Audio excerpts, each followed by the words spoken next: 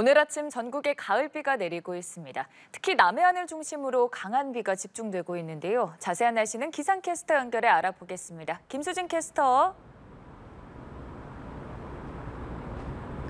네, 오늘 나오실 때 우산 잘 챙겨 주셔야겠습니다. 전국에 가을비가 내리고 있는데요. 현재 보시는 것처럼 서울에는 빗줄기가 약합니다.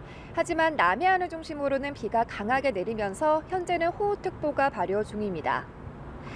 앞으로 예상되는 비의 양을 보시면 남해안에 최대 100mm 이상, 그 밖에 영남 지역에 최대 80mm의 많은 비가 내리겠습니다. 이들 지역은 시간당 30mm 안팎으로 강하게 쏟아지니까요. 호우로 인한 피해 없도록 유의하셔야겠습니다. 그 밖에 중부지방도 적게는 10에서 많게는 60mm가 넘는 비가 예상되고요.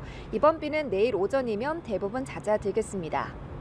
해상 날씨도 좋지 않습니다. 현재 남쪽 바다 곳곳에서 풍랑특보가 발효 중인 가운데 강한 바람과 함께 바다의 물결은 최고 4m로 거세게 일겠습니다.